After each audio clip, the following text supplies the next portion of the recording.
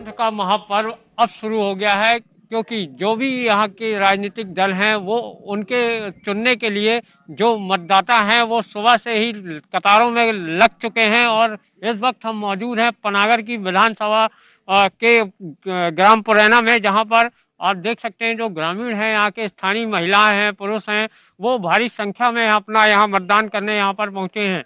इसके साथ ही जो कांग्रेस के प्रत्याशी हैं, राजेश पटेल, वो भी अपने परिवार के साथ यहाँ पर मतदान उन्होंने किया है। राजेश पटेल जी सीधे हमारे साथ मौजूद हैं, हम उन्हीं से जानते हैं। भाई साहब, लोकतंत्र का महापर्व, काफ़ी उत्साह लोगों में देखा जा रहा है। क्या मानते हैं, आपने भी मतदान किया परिवार के साथ? निश्चित रूप से मैंने मतदान किया। और परिवार के साथ मतदान किया है। आज आ, हमारी पनागर विधानसभा में जहाँ की एक लोकतंत्र के महापर्व में लोग जो है बढ़िया निकल के आ रहे हैं और वोट डाल रहे हैं। निश्चित रूप से हमारी पनागर विधानसभा में दो लाख छियासठ हज़ार सात सौ चौहत्तर मतदाता हैं।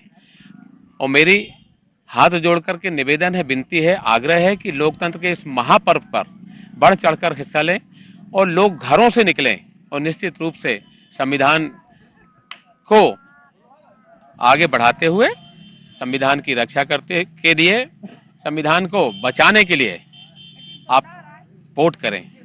बिल्कुल, ये थे राजेश पटेल और यहाँ पर वो, उन्होंने अपने परिवार के साथ मतदान किया। हम आपको तस्वीरें दिखाते हैं कि ग्रामीणों में कितना उत्साह है यहाँ पर।